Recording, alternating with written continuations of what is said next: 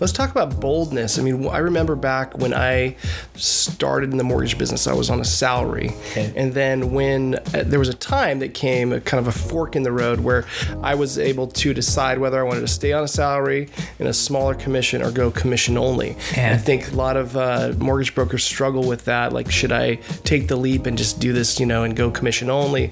Um, and when I went commission only, I doubled my income within, you know, 60 days. I started Well, you- performing you- a lot better. So Yeah, what, your, your mind knew that you had no ceiling anymore. right, and it also knew that if I didn't do anything, I would make it zero. Right. So Well stated. so how important is is having that you know um, boldness or lack of fear to you know to, to do something like that? That, that's a great question. And probably a better one is is why are people insecure about taking risk in themselves? That's all it is. But let me give you two different Believing in perspectives. themselves, right? Yeah. Let me give you two perspectives. One is it's a delusion. I mean, even if you're getting a salary, you're always we're all on commission. Right. And the commission is fired any day. productivity, yield. The moment you aren't really yielding more than you're being paid, you're either going to get a reduction or you're going to get fired. So you're on commission. This that's true. a that's a false security. First of all, Right. Second of all, we think that the companies are security, their resources are security.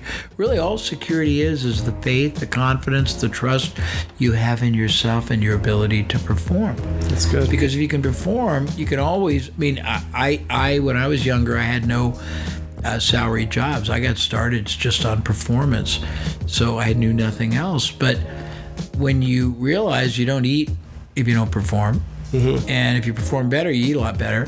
You realize what works, what doesn't. You realize that it has nothing to do with an organization. It has to do all in here.